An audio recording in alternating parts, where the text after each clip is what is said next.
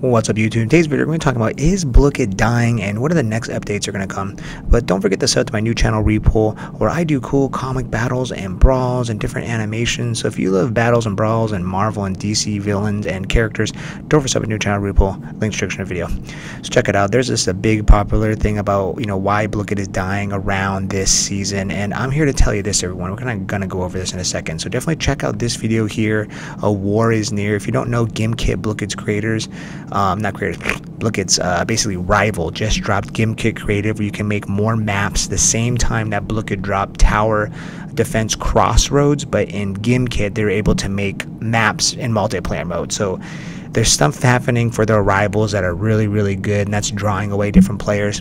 Definitely check out this video. It's talking about contests, what is Blooket doing, you know, in the meantime, and then definitely check out this video too with the Blooket training and when it's coming. Now, those three videos are basically on top of Blooket's mind because everyone thinks it's dying because Blooket has to fix the back end of this, okay? Blooket has a lot of competition with Gimkit. They have to figure out Blacket and Triangulate, which basically is taking Blooket's, we'll say, code essentially. And people are saying, where are the dang updates? Okay, Blooket just did a big ban for hackers. They got, they're worrying about the back end. This is the front end that we see, like different unlockables and rewardables.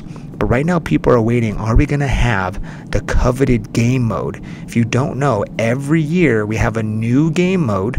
We were also uh, in, in Mayish, and we also have a new Okay, typically these packs drop in May and then then Blooket goes into summer.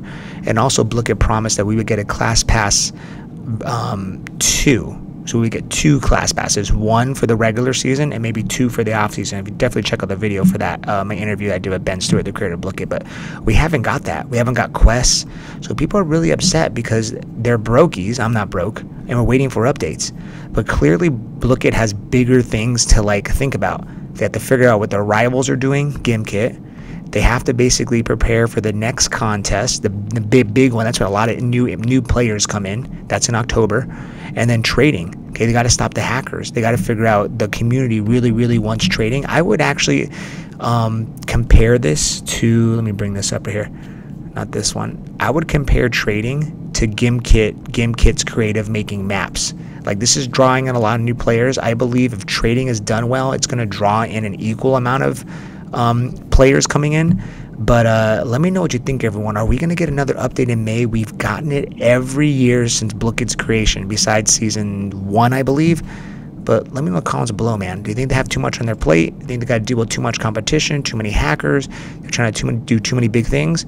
Or I think Blooket's going to pull it off at the end of season four, which is, is coming, everyone, in, in June, essentially. Let me know in the comments below. Don't forget to like, make your grandma.